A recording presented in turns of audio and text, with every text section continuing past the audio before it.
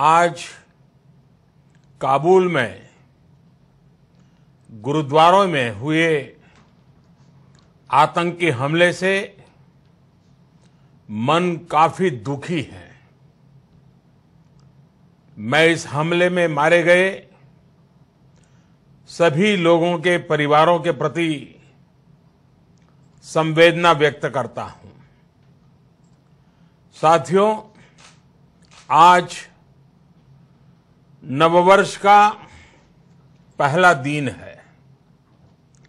चैत्र नवरात्रि के पावन पर्व का पहला दिन है। आज देश जिस संकट के दौर से गुजर रहा है, उसमें हम सभी को माँ शैल सुते के आशीर्वाद की बहुत आवश्यकता है।